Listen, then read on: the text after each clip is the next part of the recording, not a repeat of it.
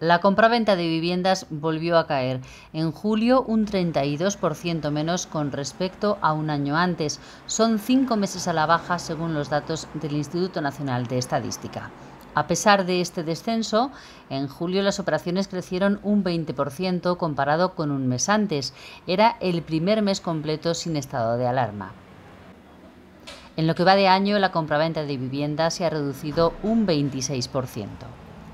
En julio las ventas cayeron en toda España en la comparación anual, excepto en el País Vasco.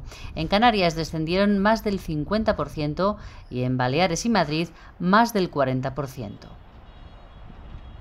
9 de cada 10 ventas fueron de vivienda libre y 8 de cada 10 fueron de inmuebles de segunda mano.